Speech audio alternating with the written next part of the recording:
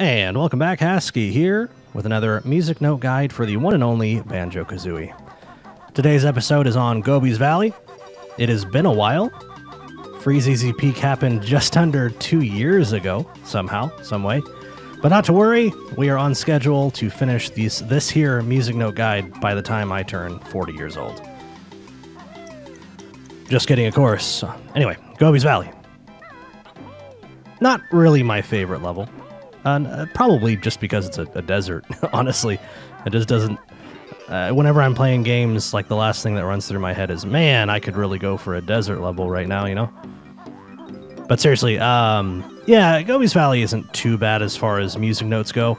Um, I think there are some gotchas, if you will. Uh, for one, you need um, the Beak Bomb ability, which is that, that ability where when you're flying, you press the B button and you go flying forward and you can, you know, damage enemies and, and break stuff. Uh, you, you will need that in this level in order to get into one of the pyramids. Actually, we're going to go right there right now. Look at that. Look at that. So we'll just fling our bodies at this target here, smash into it, and open the door. Interesting, interesting door system. Interesting doorbell mechanics. But yeah, if you uh, if you don't have that ability, you'll probably need to go get it from that was from Freezeezy Peak. Um, if, if you're doing the levels in order, you'll likely already have it, but since you can do the levels out of order, it is certainly possible that you can arrive at this level without that ability. Um, I'm sure I'm sure there's some speedrunner way where you can I don't know get outside the map and hit the loading zone somehow um, without the beak bomb ability, but I, don't know of a way. I, have never looked that up. I, I, have no idea how to do it. Uh, I'd be shocked if there wasn't a way. But um, yeah, so if you don't have it, you'll probably want to just stop stop what you're doing, head back to Freezeezy Peak, pick that up, and then come back and start over. Probably should have said that earlier. Sorry. Don't be mad. Don't be mad.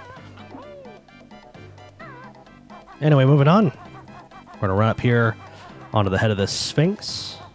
This living living Sphinx with a building inside. I don't know. Creature in the shape of a Sphinx. And we're going to open the door by shooting him in the nose. More more more interesting door mechanics. Shoot the guy in the nose, open the building. And I, I, don't know if you caught that pro gamer move right there, but you can shoot both sides of his nose from, from one side. That's just me showing off, though. Showing off how good I am at Banjo Kazooie. But now that we're inside, there's to be four music notes on the bottom floor, one in each corner. And I think three floating on the magic carpets. And actually, now that I'm watching this, like this very second, I didn't really think about this, but in in the far corners, like you can see it right here. You you don't you can't see the music notes. They're too far away. They're cold. See, they're like disappeared, right? So now that I've gotten closer, you can you can see them appear. So um, I kind of I kind of felt like this room was pretty straightforward, like one in each corner. But I, I guess you could you could actually miss them because you, you might look down there and be like, oh yeah, there's nothing there, and then walk out. So that's uh be careful of that, I suppose. And back outside. Alrighty, what's next? Um, more buildings. More buildings, that's for sure. In fact, um, I, have never counted. Certainly never counted before, but I, I, wouldn't be surprised at all to find out that Gobi's Valley was, you know, the one level in Banjo Kazooie that had the most uh, sub areas. You know, places you go inside, grab some stuff, and come out. Um, and unfortunately, that kind of makes it difficult for finding music notes. You know, it's it's difficult to know. I mean, you can't look at a, a, place, you know, building, and be like, "Oh yeah, that that's been cleared out." Like, are you sure? Like, are, did you check every corner? That just kind of makes it a little bit rough. It doesn't help that you know most of them look the same, and the colors of Gobi's Valley are all kind of the same. It's kind of pretty easy to get spun around and think you've been in a place where you really haven't. So anyway, takeaway from that is don't get lost. Do your best, don't get lost. I would say uh, pay attention to what doors have been opened and what doors haven't, but I just came out of, you know, one of the buildings that the door closes itself. So that certainly doesn't help. We're going to hop over here and feed these statues, these sphinxes. Sphinx? Sphinxes? I don't know, but they're going to show their gratitude by raising this pyramid out of the earth. Pretty cool of them, especially because there are music notes inside. Now, we're going to talk a little bit more about this maze here in just a few seconds. But uh, it's probably one of the scarier parts of the level, if there is one. That maze being inside the pyramid, that is, excuse me. So I think there's three of these guys. I mean, they're hard to miss. Whether there's three or four.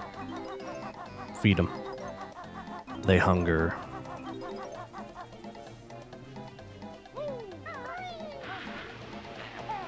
And fed. Mission accomplished. Thank you for the pyramid. Thank you, Sphinx Eye. Anyway, that's that's the maze there. We'll race on up there and talk about this a little bit more.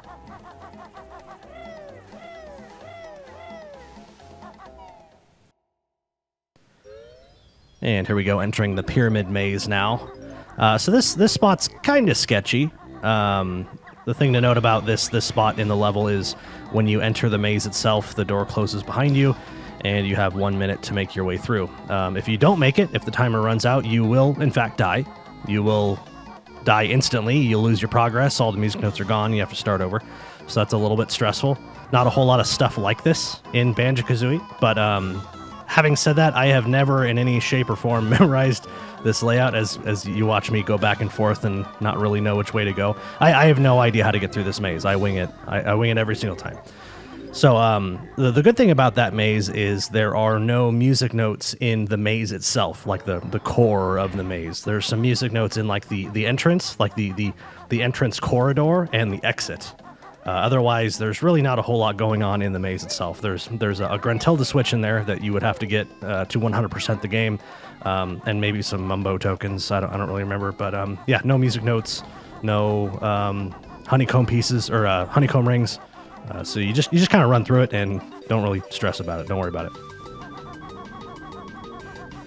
Anyway, moving forward, I'm gonna grab those shoes. I actually I actually don't remember what they're called now that I think about it. I'm gonna I'm gonna call them super sneakers. And if they were not called super sneakers in reality, I feel like it was a, a missed opportunity. But obviously, you're gonna need them to go fast enough to reach the hatch on top of this structure.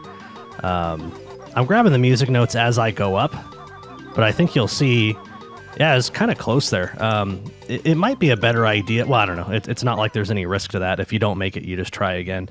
But uh, if you have to skip the music notes to cut the corners a little bit tighter, uh, that might help you get up and you know down inside fast enough.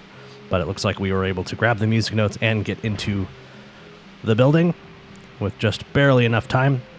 So I'm going to grab that uh, puzzle piece there to open the door. That is how you open that. And uh, drain the water out of this thing that was somehow filled with it. And we'll grab the four music notes and head back outside.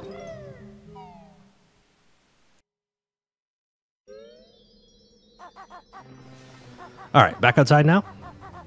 We're going to wrap around the back side of this building and grab the other pair of Banjo Kazooie shoes.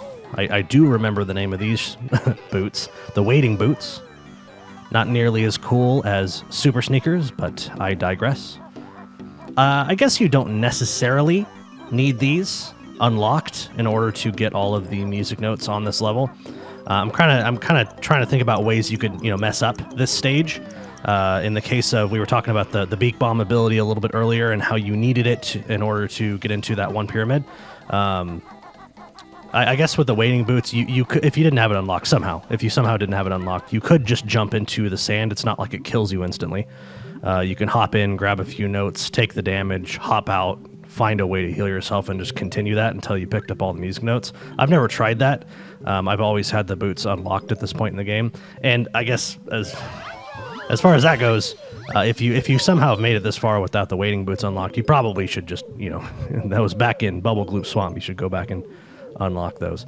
But anyway, I'm gonna swim down here pick up these music notes. This this area, of course, this this moat, this this channel, of course, was filled up with water after we went into that uh, that other building a few seconds ago.